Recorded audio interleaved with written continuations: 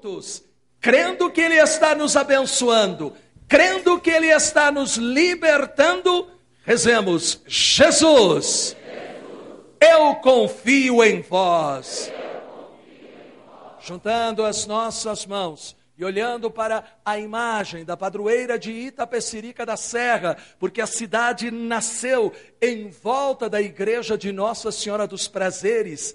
Aqui a imagem apareceu. Os padres jesuítas, quando chegaram aqui, queriam que a igreja fosse construída em outro lugar, mas Nossa Senhora queria o alto do monte, justamente para indicar que nós temos que estar próximos de Deus. Monte na Bíblia significa estar próximo de Deus, e quem está próximo de Deus tem a certeza da sua bênção. Por isso, peçamos a ela, Nossa Senhora dos Prazeres, que interceda por nós, que nos livre de todas as mentiras do demônio, ela que pisou na cabeça do demônio, que ela interceda para que nós possamos ver os milagres de Jesus acontecendo em nossa vida. Ave Maria, cheia de graça, o Senhor é convosco. Bendita sois vós entre as mulheres, e bendito é o fruto do vosso ventre, Jesus. Santa Maria, Mãe de Deus, rogai por nós, pecadores agora e na hora de nossa morte. Amém. Sentados, em nome do Pai, do Filho e do Espírito Santo. Amém. Louvado seja nosso Senhor Jesus Cristo. Eu gostaria que você, meu querido e minha querida, neste momento tivesse uma grande certeza. Você está aqui por causa do amor infinito de Deus. Amém?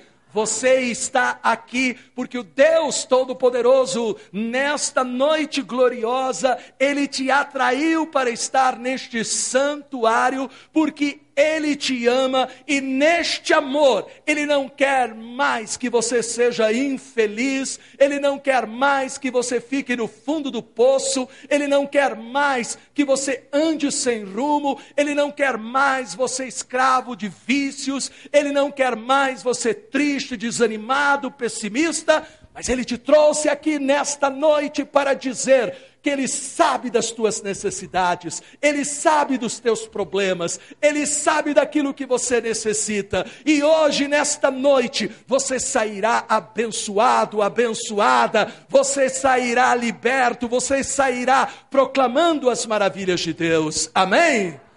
Eu, há muito tempo atrás, eu li uma frase em um livro muito famoso que dizia: a bálsamo em Galaad, que cura a alma dos doentes. Vou repetir esta frase, porque esta frase para mim foi muito importante. Mas muito importante por quê? E eu vou explicar daqui a pouco. A bálsamo em Galaad, que cura a alma dos doentes. Galaad, meu querido e minha querida, era uma cidade mencionada no Antigo Testamento conhecida por seus perfumes e remédios. Portanto, veja, meu querido e minha querida, você não precisa mais ir para Galaad. Você não precisa mais ir para cá ou para lá, porque o Deus Todo-Poderoso deu a você Jesus Cristo, que é Galaad vivo. Amém?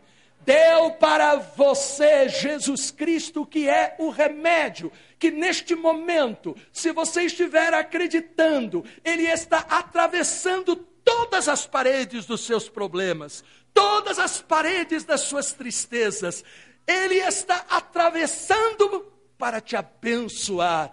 Basta que nesta noite, nesta novena de Pentecostes, você peça essa graça ao Espírito Santo. Levante os seus braços neste momento. Peça ao Espírito Santo que te dê realmente a certeza que Jesus te trouxe para te abençoar. Peça, peça, diga: Espírito Santo, me dá a certeza que eu estou aqui neste grupo de oração, porque Jesus está me abençoando, sim. Dá esta certeza a cada pessoa que está aqui neste santuário, dá esta certeza a cada pessoa que está nos acompanhando também através da internet meu querido e minha querida, o Deus Todo-Poderoso, em Jesus Cristo, Ele deseja realmente curar todas as feridas espirituais, os corações machucados, os corpos doentes. Esta é a grande promessa de Deus. Abra sua Bíblia em Isaías, no capítulo 55, versículos 1 e 2. E aí em Isaías 55, 1, 2, nós lemos: Todos vós que estáis sedentos, vinde à nascente das águas, vinde comer, vós que não tendes alimento, vinde comprar trigo sem dinheiro, vinho e leite sem pagar por que despender vosso dinheiro naquilo que não alimenta, e o produto de vosso trabalho naquilo que não sacia? Se me ouvis, comereis excelentes manjares, uma suculenta comida fará vossas delícias. Olhe para mim, meu querido e minha querida, e aqui a palavra de Deus está trazendo a resposta. Se nós ouvirmos, se nós escutarmos, aquilo que Deus nos diz, se nós soubermos realmente deixar a Sua palavra entrar em nosso coração e ser mais forte do que todas as palavras mentirosas do mundo, se nós ouvirmos a palavra, se nós dermos este espaço para Deus, Deus promete que nós seremos abençoados. Comer manjares significa ser abençoado. Repita comigo: Deus abençoa-me. Deus abençoa-me. Por isso, hoje, nós temos que nos aproximar e nós temos que beber doses abundantes do amor de Deus. Não pode, neste momento, existir no seu coração ainda pessimismo. Não pode existir no seu coração pensamentos de derrota. Não. Você está no lugar certo. Você está no lugar aonde Deus te trouxe. Você está no lugar aonde a palavra dele, a palavra poderosa, está sendo pregada para você. E esta palavra, meu querido e minha querida, está dando para você a posse, a posse da bênção maravilhosa de Deus. Por isso, meu querido e minha querida, hoje Deus quer curar aquele que está frio espiritualmente. Ele deseja devolver a alegria àquele que está triste. Ele deseja sarar o doente. Por que continuar comendo a lavagem do mundo? A lavagem do mundo faz a pessoa no dia seguinte levantar de ressaca.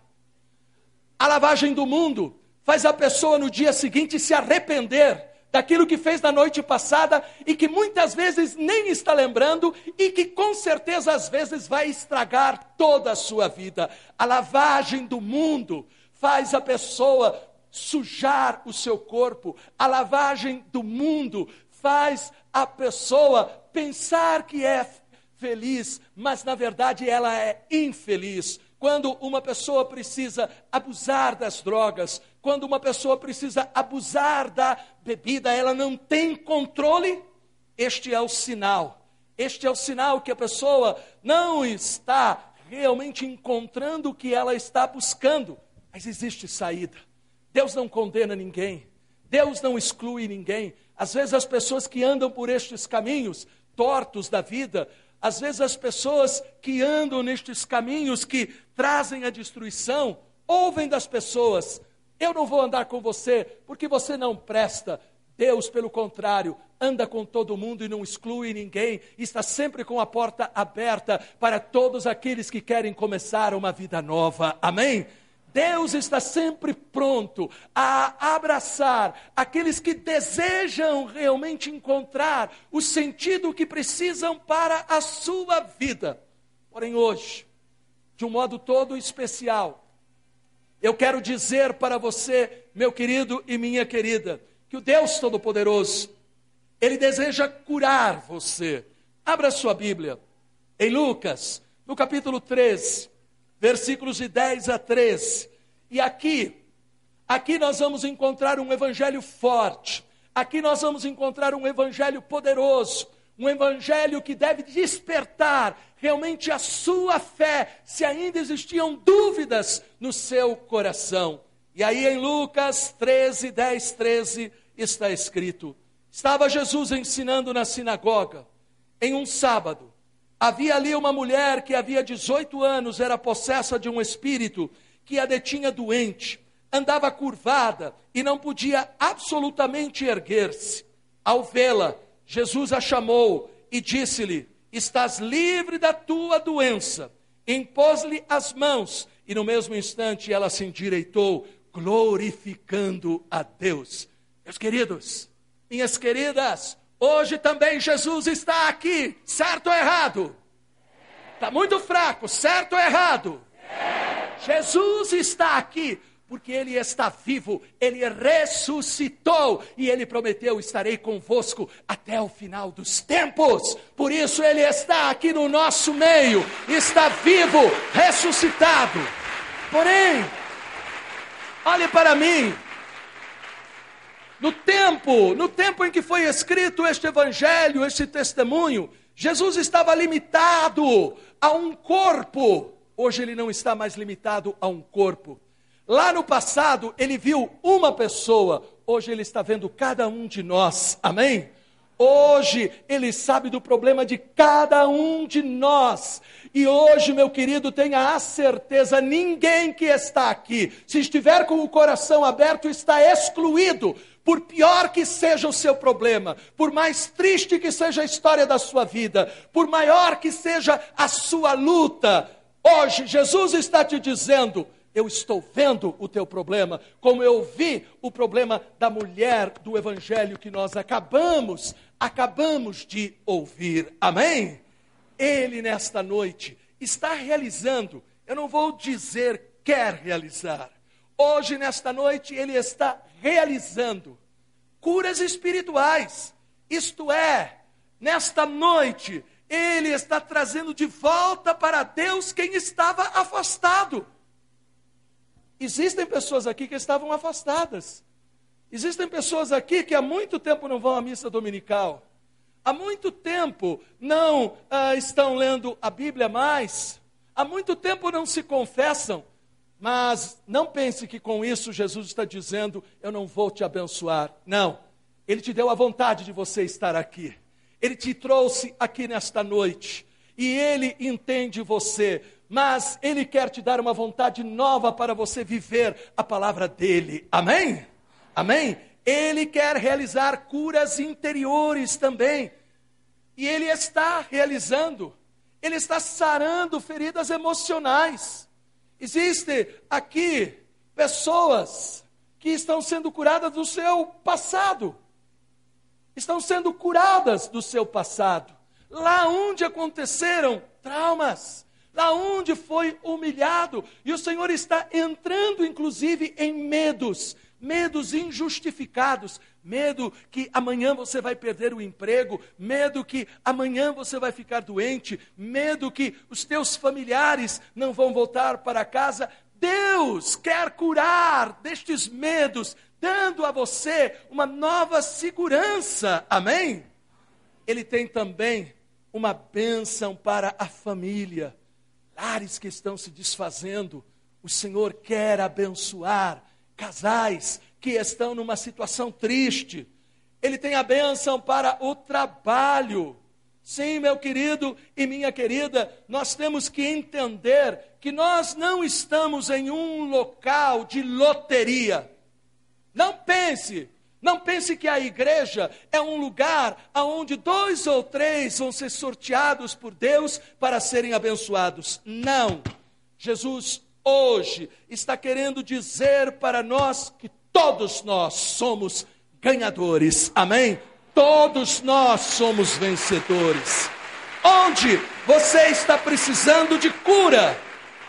Onde você está precisando de cura? É aí que Jesus está neste momento entrando com o seu poder. É aí, aí aonde você está precisando no espírito, na alma, no corpo, na família, no trabalho, Jesus está te abençoando. Amém?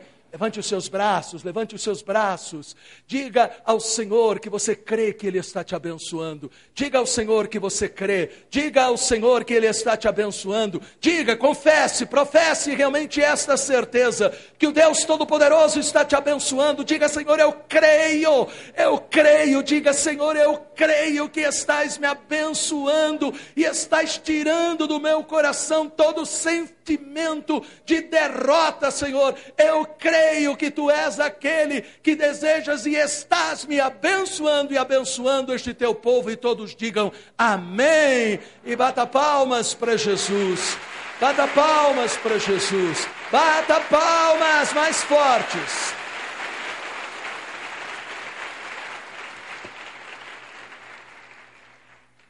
Aquilo que eu falei de a pessoa estar voltando para a igreja, o Senhor me mostrava algumas pessoas